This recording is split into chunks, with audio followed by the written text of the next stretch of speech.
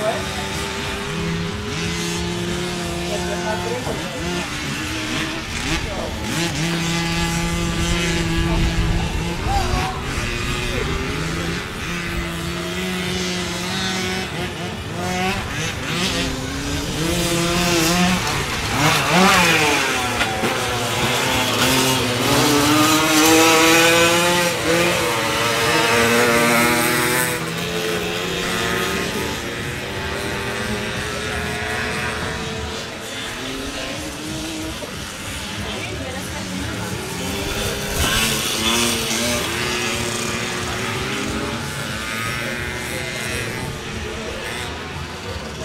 Thank yeah.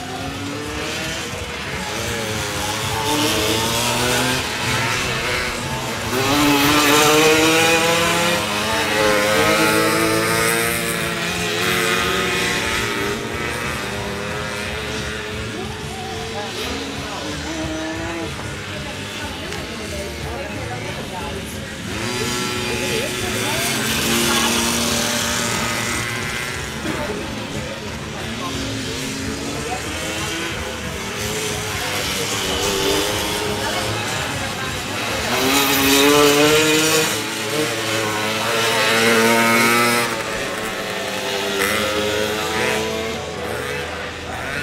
Yeah.